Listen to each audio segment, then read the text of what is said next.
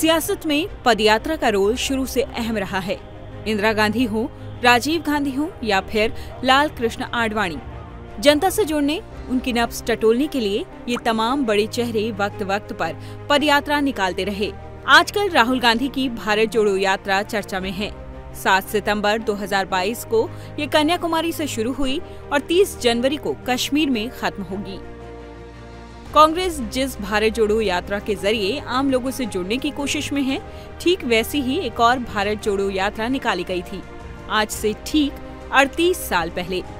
गांधीवादी समाज सेवी बाबा आमटे ने ये यात्रा निकाली थी और वजह थी भारत के लोगों के बीच सद्भाव पैदा करना, राष्ट्रीय एकता को बढ़ावा देना। उन्नीस सौ चौरासी ऑपरेशन ब्लू स्टार की वजह से देश में सिख बेहद गुस्से में थे। हर जगह हिंसा और डर का माहौल था और इसे खत्म करने के लिए बाबा आमटे ने देश में भारत जोड़ो यात्रा नाम से मिशन शुरू किया। उन्होंने कन्याकुमारी से एक साइकिल रैली में लगभग 100 युवकों और 16 महिलाओं का नेतृत्व किया। आगे लोग जुड़ते गए। उनकी अगुवाई में युवाओं के दल ने साइकिल यात्रा की, पैदल यात्रा की, सभाएँ की, खूब चर्चा में हिस्सा लिया। खास बात ये थी कि इस यात्रा में शामिल सभी सवा सौ लोगों की उम्र 35 साल से कम थी, जिन्हें यस या यूथ इमरजेंसी सर्विस कहते हैं। इस दौरान बाबा आमटे का स्वास्थ्य खराब था, लेकिन उन्होंने खुद इस यात्रा की बागडोर अपने हाथ में ले ली। हालाँकि उनकी सेहत इसकी इजाज़त बिल्कुल नहीं दे रही थी। ये यात्रा दो चरणों में हुई।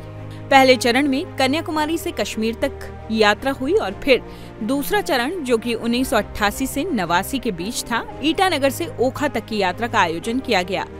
24 दिसंबर उन्नीस से शुरू होकर ये यात्रा 12 अप्रैल 1985 को जम्मू में खत्म हुई। 14 दिनों में 5000 किलोमीटर से अधिक की यात्रा हुई, कुल 110 दिन में। और यात्रा के दूसरे चरण का आयोजन 1 नवंबर 1988 से 26 मार्च उन्नीस सौ नवासी तक हुआ। पूर्व की ओर अरुणाचल प्रदेश की राजधानी ईटानगर से निकलकर ये पश्चिमी किनारे के ओखा बंदरगाह पर खत्म हुई। कहा जाता है कि यात्रा का जोश इतना था कि विकलांगों ने भी बाबा आमटे की इस यात्रा में हिस्सा लिया। लोगों में इसे लेकर जज्बा देखने लायक था।